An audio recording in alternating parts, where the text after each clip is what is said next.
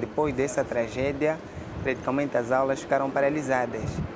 E até aqui todo mundo, e perdemos todo o material escolar e não temos quase nada.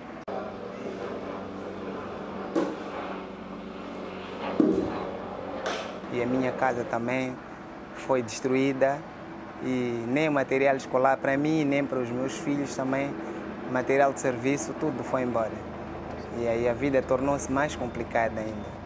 Não há. Lá mesmo na escola onde eu estou exemplo, todo o teto foi embora e aí dentro das salas, na escola, para arrancar as aulas já não temos. Estamos à espera de orientação.